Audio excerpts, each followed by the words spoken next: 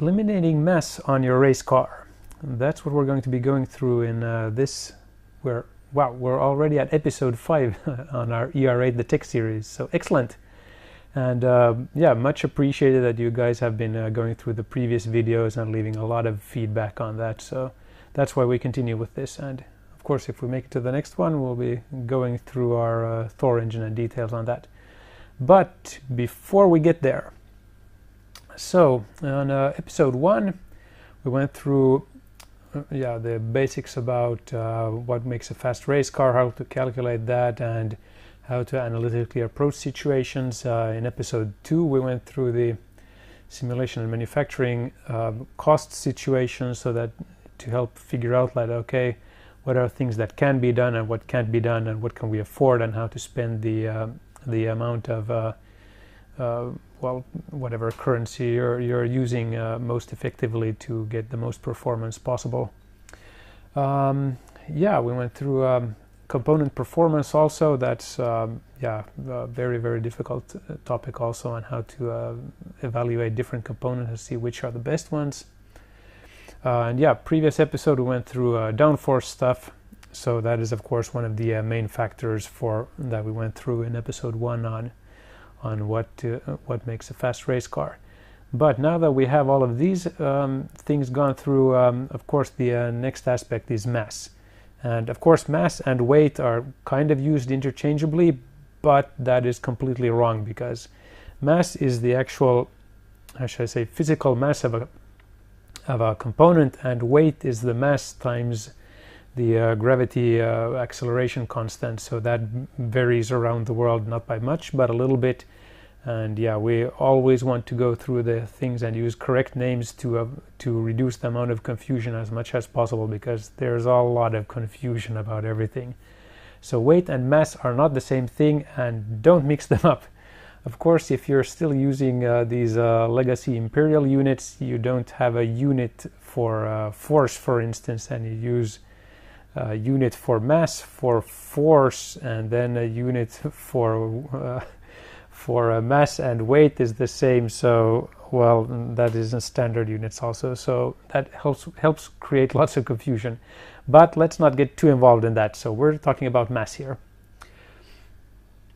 So um, this topic about so this is basically uh, boils down to uh, strength calculations. So you have lots of different loads on on a vehicle or whatever it is that you're designing uh, engine component uh, suspension component whatever.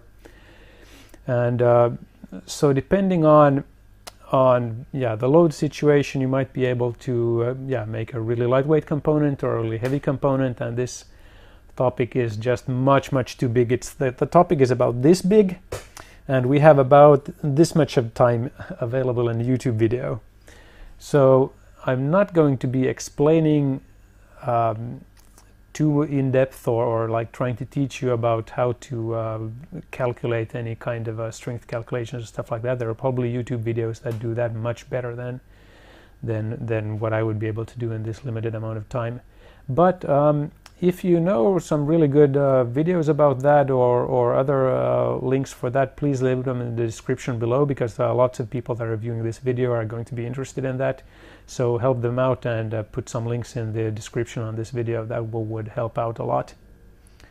So what I am going to be going through though is explaining why it's very important to understand these, these uh, aspects and not just yeah build something and then just make it sort of thick enough or something like that that that uh, you typically see. And even in in yeah I've had some uh, experiences with uh, formula student teams for instance where where uh, the uh, official evaluators that are working on F1 teams or something like that I mean have absolutely no clue what the, how these uh, strength calculation things work. And it's oh, that's just a, a completely horrible situation but yeah, I mean, in the end, it's not that difficult, really. You just need to to focus and figure out. Okay, I want to understand how things work, and um, yeah. So, but to um, get this a little bit more concrete, I have uh, one good example from uh, the university there at a at a lightweight structures, something like that. I think the course would be in the English translation for that.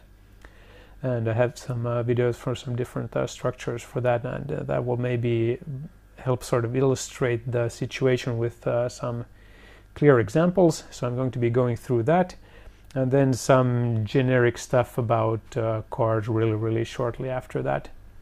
Uh, but yeah, so first I'll explain the sort of yeah the so, this um, course that that I had at the university. So basically, um, I can't remember exactly how many students we have, but we were yeah divided into um, uh, small teams, and uh, each team had a, a, team manager, and basically um, it was a, a freely supported uh, structure that needed to be built to support the weight of the uh, team manager.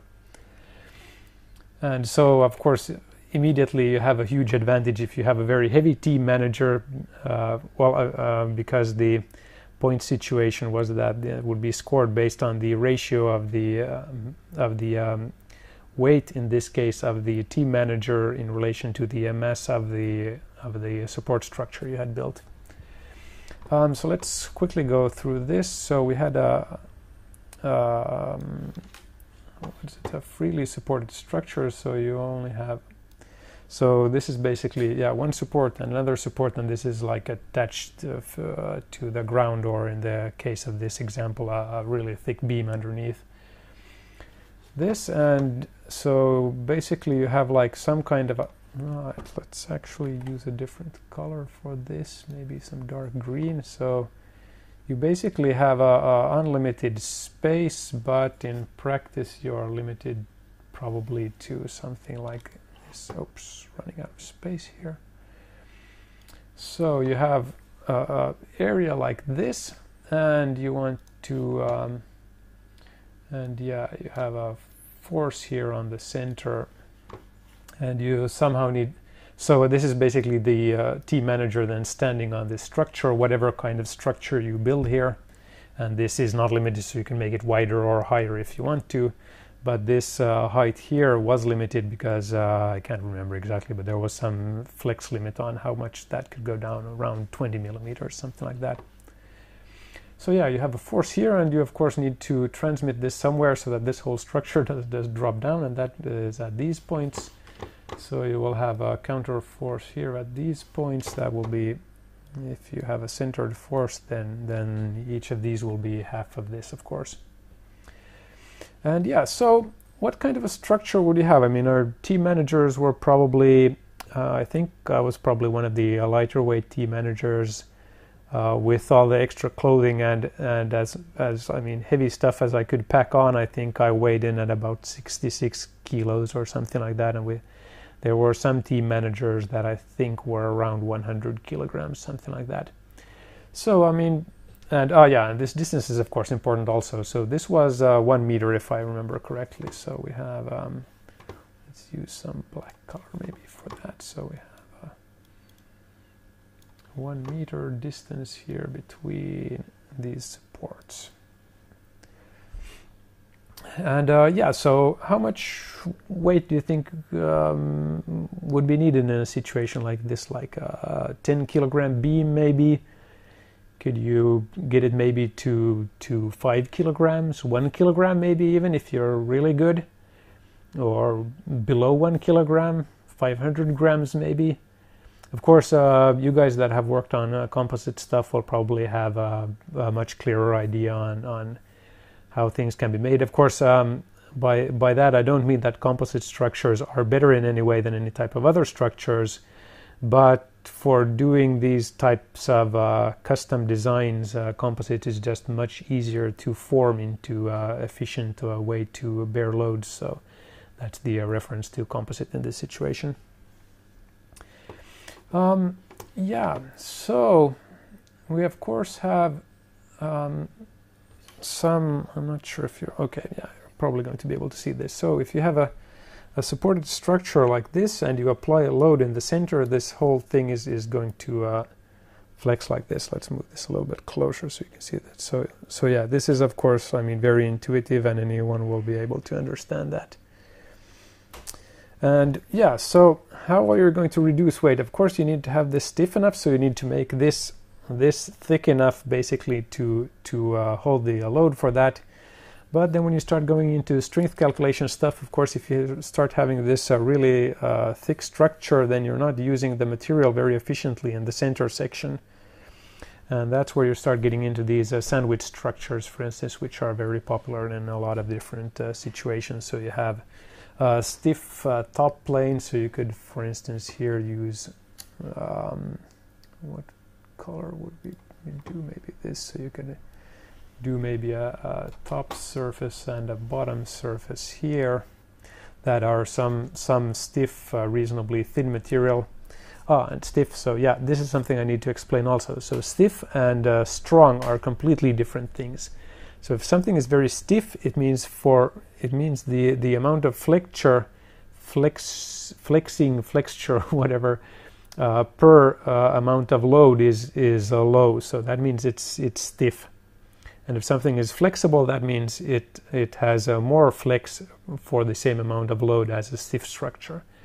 And if something is strong, that means what that basically uh, means how much the maximum load it can carry before it fails is. So these are of course completely different things that that in some structures have something to do with each other, but in most cases will be completely different things. And in some cases also if you have a structure that is more flexible, you can design it so that it flexes into uh, more into a better geometry to carry loads more efficiently, for instance. So yeah, you can have it's very very uh, feasible to have a structure that is very flexible and very strong, and likewise you can also have a structure that is very very stiff but uh, not strong at all. So so these are completely separate concepts, and these are yeah, one of the more important things to understand and know about. And there are probably going to be videos explaining that in a, in a much much better and clearer way. So, so yeah. But uh, check the descriptions below. Someone might have uh, have posted a good link uh, explaining all of these these things. Um, so so yeah, if we have a yeah one plate up here and one plate down here, and uh, just load it. Basically, of course, you need to connect these in some way. So if you just connect these with like uh, thin support structures here, then you basically just have two like very flexible pieces that are going to flex. So you need to connect these somehow. So now let's go back a little bit. So when you load this up, you would have like these this type of a movement. Well, it's not very smooth, but anyway, so, and here you can of course clearly see when this flexes down and this barely moves, so the distance between these points in relation to these points is different. So basically you need to have some material between here to take up this, so you basically have this uh, shear loading here, where the more you flex this center part down, you have basically a shear loading here. So you want to have a material that is good for shear loading in the center and uh, for um, and of course, the more shear loading or the more shear stiffness you have, uh, the more you can have compression on this uh, top surface and uh, tension on this bottom surface. And in case of, of just like um, support structures in, in this sort of a vertical direction, you would have almost no shear loading at all. So you would just have two completely separately loaded surfaces, and that's not a very ideal um, way to, to make a, this type of a structure. Um, yeah, so uh, when we're looking at something like this, I mean, this would be a, a very typically easy solution to do, which uh, most people would assume is, is reasonably efficient. So you have a sandwich structure, which is generally assumed to be very efficient. Uh, but if you start sort of analyzing this thing and uh, doing the actual numbers for this, which I'm not going to do here because, yeah, we don't have that much time, uh, so basically you, you would end up with a lot of material to, uh, to take up these shear loads and that ends up weighing a lot and the shear loads is, is not sort of like beneficial actually for your structure. If you can reduce the amount of shear loading you have then you need um, yeah less material to take that up and it's not really something that is is like necessary for your structure. So then um, one solution that that uh, we uh, looked at, or or I mean, I think it's more or less analytically the the uh, best uh, sort of structure to do. Uh, so basically, you have uh, compressive loads at the top and tension at the bottom. So and you want to reduce the shear loads completely. So you just want to connect these points basically together. So you can do a structure like this and then of course because these are freely supported you need something to prevent these feet from from stretching outwards. So you need another structure here. And uh, yeah once you figure this out you're you can be reasonably sure that that this is like analytically the the most efficient way because you have a direct load path uh, for the compressive forces on the top and you have a direct load path for the tension forces at the bottom. And then it's just a question of optimizing the structure really so you have uh, compressive forces here at the top and you will of course uh, choose a, a, structure for this that is uh, has the uh, highest possible uh, buckling um, buckling resistance per per mass of course. And for this tension section here you yeah choose a structure that has the the uh, best best uh, tension uh, loading per mass basically and yeah so the whole situation gets very easy and then yeah you just design these and then you need something at the ends here to to connect these two pieces together. But the closer you bring these together also uh, the better that is because yeah if you have this uh, high this um, really tall sandwich structure then you have yeah tension on or compression on one side and tension on the other side and that basically yeah the the higher that is the the more total total sort of force you have. Of course you gain uh, geometrically wise uh, more on the stiffness of that but the higher you make it the more material you need. But with this you don't need any type of material in this center section at all. So yeah this is uh, what we looked at and optimized this uh, on our structure. And yeah, I think this pretty much um, should explain this. So let's jump into the video. This is a really old one, so this was in the uh, 4 to 3 video days. So let's go through this, and I can uh, yeah explain something while we go while we go through this. Um, so if you thought about the different weights of what possibly could be achievable.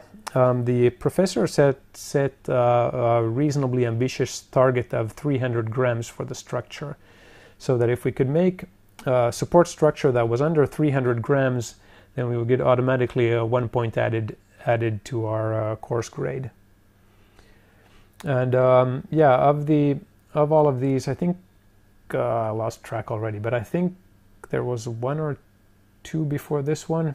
Um, I believe this one was maybe around 800 grams. This was, uh, oh, I can't remember these anymore, but this one was probably at least over 500 grams.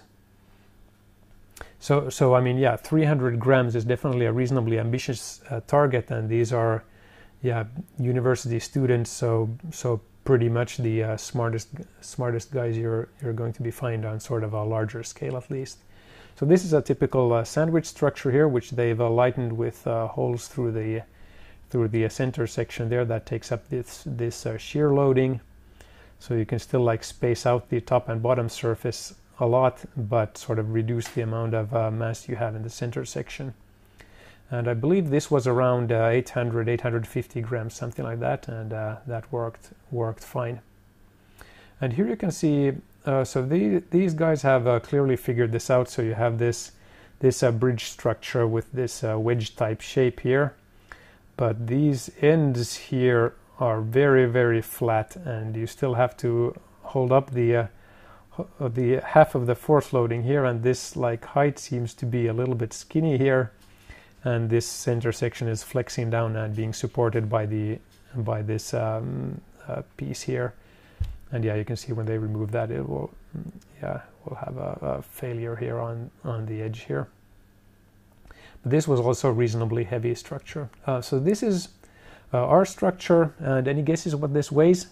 So uh, 300 grams uh, was the uh, was the was the uh, yeah professor set set target weight, and we weighed in at I believe 160 grams, so half of that, and most of that weight was actually these uh, end sections here, which could have been much, much uh, lighter weight. So uh, I calculated that we could have gotten this down to 60 grams uh, with some uh, lighter weight end pieces here.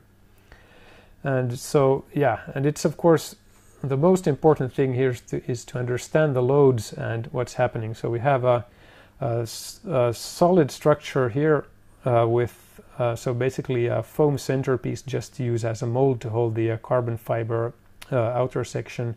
And it's just a single layer basically to get the uh, the uh, maximum amount of, of buckling strength. But we were um, not limited at all. let me just pause this quickly. Oh. I'll try to pause it. Oh, damn it. Uh, let me just jump back shortly. Um, well, this, okay, yeah. Um, so I can explain this. Um, yeah, so uh, this size of this uh, top beam here, we were uh, limited by, by our uh, manufacturing capabilities. So we did these by hand and I think we yeah estimated that we couldn't go thinner than was it maybe 12 or 12 millimeter or something like that. We could have gone much smaller than that. And for the uh, bottom uh, section here, we basically we, or we're not basically we have uh, dry carbon fiber strands here because the epoxy or the matrix material for that is only useful for holding the uh, fibers in place. They don't actually that material doesn't actually contribute much to the uh, load carrying capability, uh, depending on the loading situation, of course.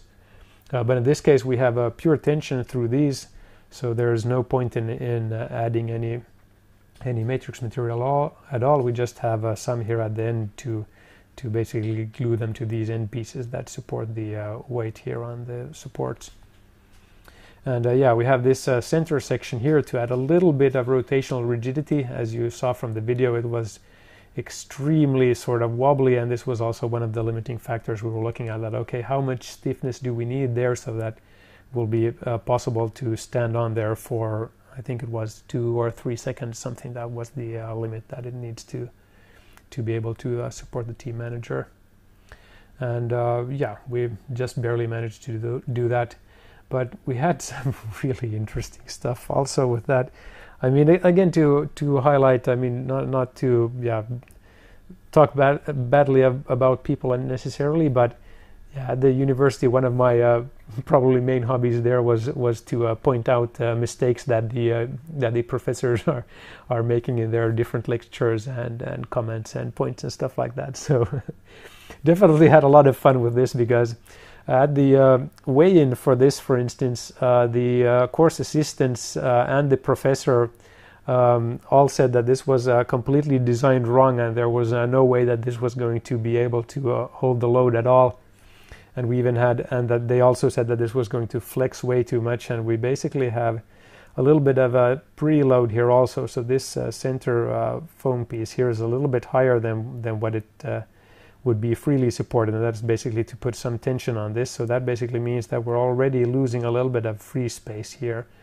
But our calculations show that yeah we would have like uh, I can't remember what it was like one or two millimeters of flex or something like that. So it basically the most um, rigid uh, support structure of, of any of the different uh, teams here.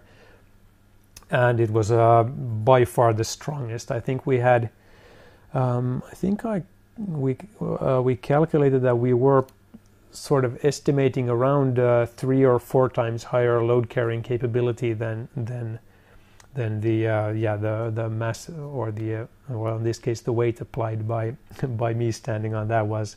But I mean again we were limited by by how small of a structure we can reliably make by hand. So that was the uh, limiting factor with this. But yeah it was fun with the, discussing with the professor beforehand like okay, is this structure going to work or not? Well, that's what this test is for, so we can figure that out. And and yeah, it held up fine exactly as we calculated. And the funny thing is that the professor, so they still uh, reduced uh, our points on the report because they still claimed that we had calculated the strength of the, of the piece wrong. so uh, that's so fun. But um, yeah. So my philosophy at the university was always that if you get a one, so uh, so the uh, scaling was a zero to five, and uh, zero was uh, failed, failed, and a one to five was everything passed. So yeah, a, a, one is like the optimum the uh, optimum amount of, of work put in to get the same amount of, of sort of uh, courses through. Uh, of course, yeah, learning is the most important thing, but learning and getting a good grade in the courses are sometimes not the same thing. So I think, uh, yeah, this was one of the more funnier courses for, for that. Uh, but yeah, let's uh, go through this. Um, this was probably one of the more innovative. So this was by far the the uh, best sort of a workload uh, to uh, structure component. I mean, it looks really lightweight, but this actually weighed in at 260 grams. So this was 100 grams uh, heavier. So this is just a sawed-off ice hockey stick. But the wall thickness here is so thick that it ends up weighing a lot, even though it's yeah, there's almost nothing there. But uh, yeah, we beat them out on the uh, on the um, weight to mass ratio quite a lot. So really nice solution with that.